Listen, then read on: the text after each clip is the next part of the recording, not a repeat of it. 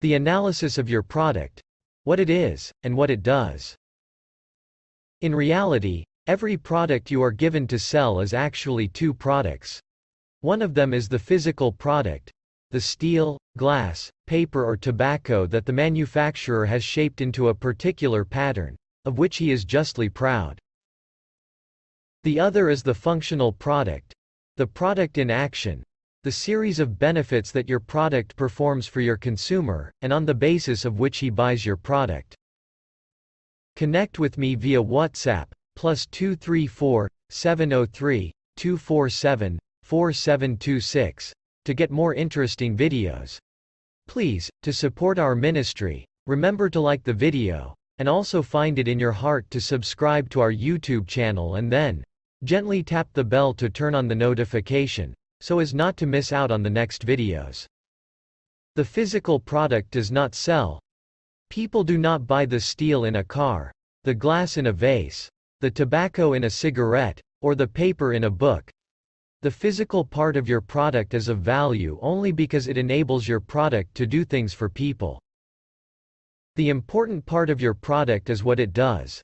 The rest, the steel skeleton, the chrome or metal case that you actually deliver to your customer, is only your excuse for charging them your price. What they are really paying you for is what the product will do. No physical part of your product can ever become a headline.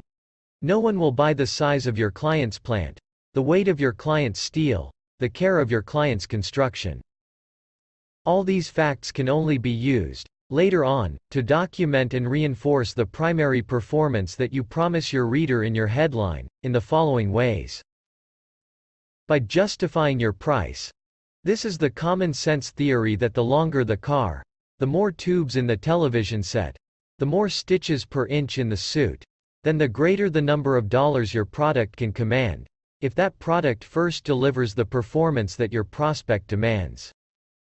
By documenting the quality of your performance, tell your prospect the weight of steel in your car's door, and he's more likely to believe that your car will protect his life if he should have an accident on the highway. Tell your prospect the number of times your plant removes the impurities in your face cream, and she's more likely to believe that your cream will remove the impurities in her skin. By assuring your prospect that the performance will continue throughout the years, Ceramic mufflers mean no repair bills for the life of your car. Chemically protected paper means you can hand your prize books down to your children. Quick frozen food means you can retain taste and vitamins for months after your purchase.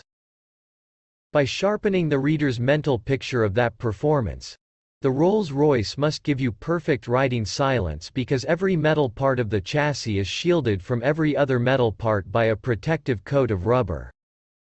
Helena Rubinstein's new face cream must make your skin look younger because it contains the placenta of living animals. And, above all, by giving your product's claim of performance, a fresh new basis for believability. This is the most important use of the physical product in fields where a new firm or product is attempting to invade an established mass instinct field. Others have made the same claim before. Your product, in order to pull sales away from them, must introduce a new mechanism that performs the claim, or a new quality that assures its performance, or a new freedom from old limitations that improves the performance. This is the point of difference, often conceived by the copywriter, and built by the manufacturer into the product at his recommendation.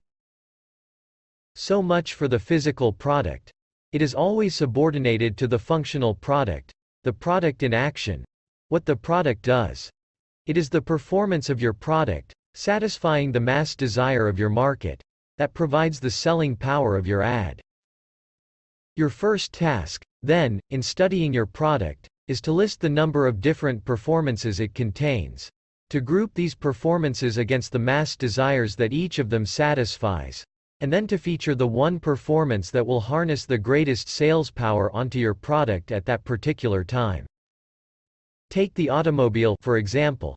Every automobile offers its prospective owner several different and distinct sets of performances.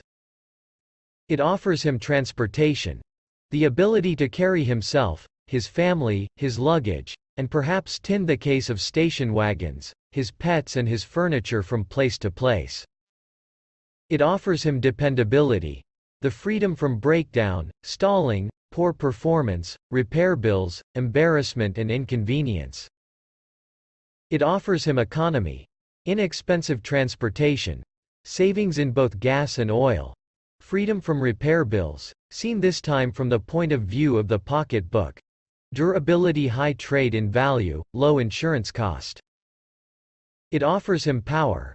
Number of horses at his command. Takeoff at the lights.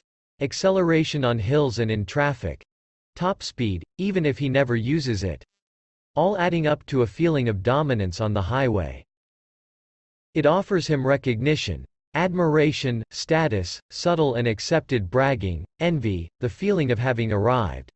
The ohs and ahs of his neighbors, the first ride, the very smell of a new car.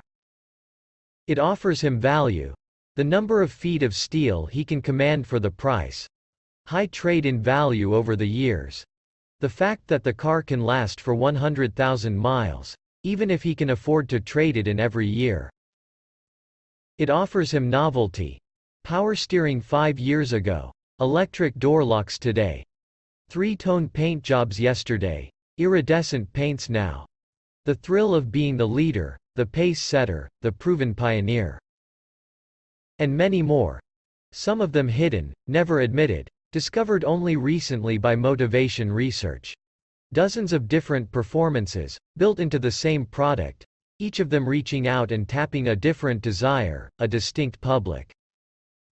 And yet your ad can feature only one of these performances, can effectively tap only one mass desire at a time, your headline is limited by physical space. You have only one glance of the reader's eye to stop him.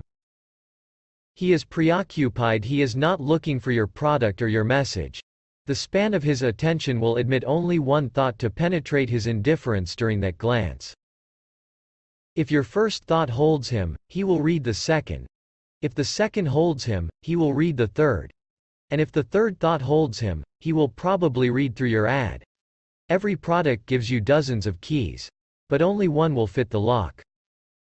Your job is to find that one dominant performance squeeze every drop of power out of it in your presentation. And then convince your reader that that performance and that satisfaction can come only from your product. Stay tuned for the next part on the series. Part 4. Your prospect's state of awareness. How to capitalize on it when you write your headline. Bye for now.